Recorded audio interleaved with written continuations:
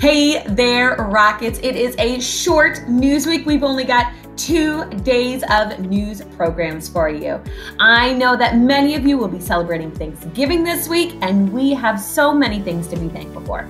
I'm thankful for a two day news week because it's a lot less for me to edit, but I know many of us are also thankful for two very important people. Without these two people, technology at Crossfield would be crazy. So let's have a throwback this morning and let's be thankful for Eelman and Felt. Hello, Madam President. Yes. Yes. I see. I know just the people for the job. When you think the world is coming to an end, uh, who's the team on who you can depend? Eelman and Felt, they're on the road.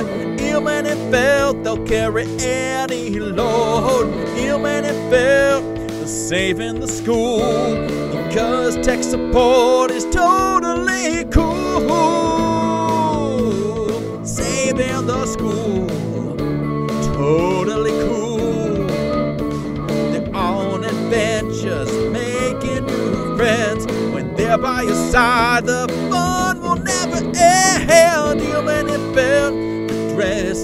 up in style. Eelman and they'll go the extra mile. Eelman and Felt, they'll lend a hand because their skill sets are highly in demand.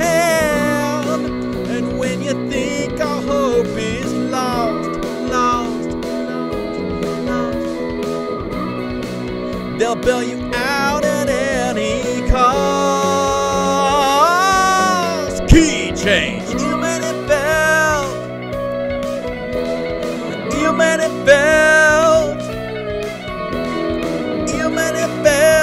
They're here to win. They'll help the helpless again and again and again.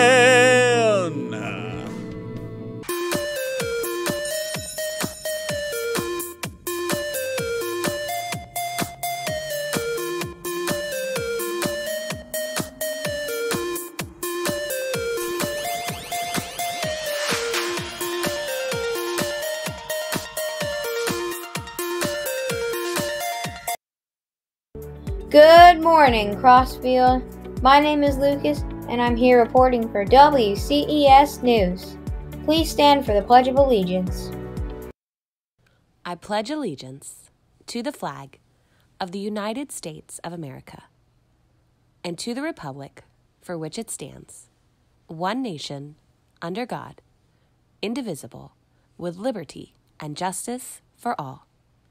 As we begin a new day, let us pause for the moment of silence.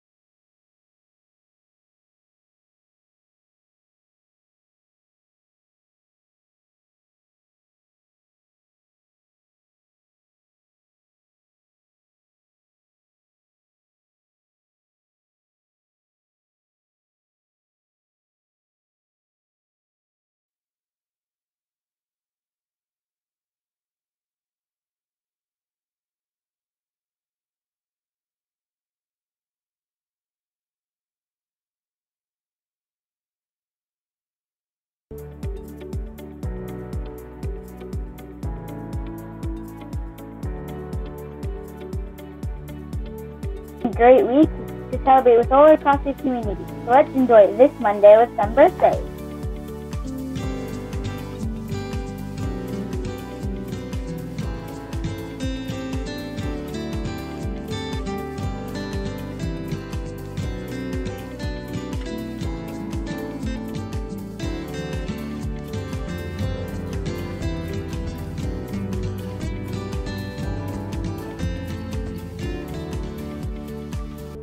It's Monday, Rockets. Let's check out a book talk all about a great book you can pick up in the library at Curbside Pickup.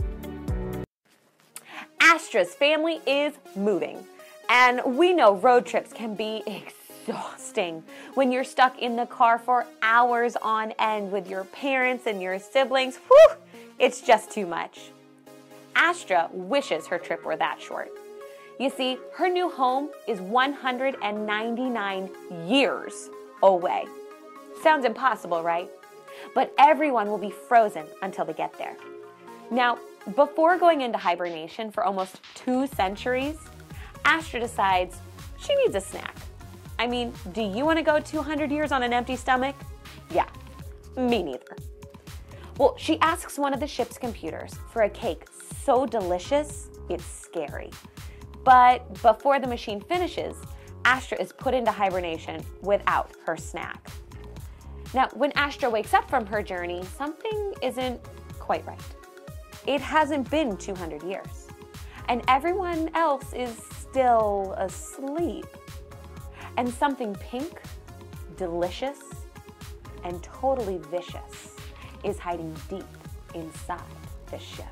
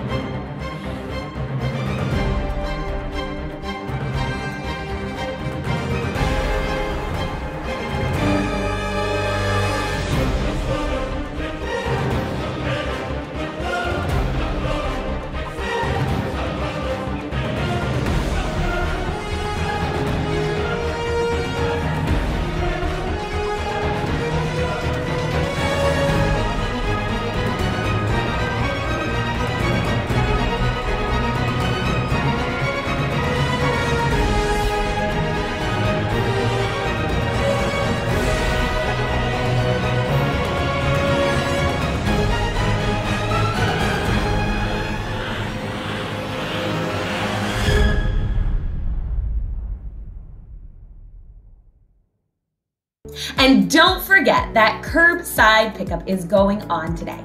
Hopefully I will get to see some of you from 1145 to 1245 or if you can't make it, come see me from 3:30 to 5:30. I've got a bunch of books for a bunch of rockets ready to go before this long week.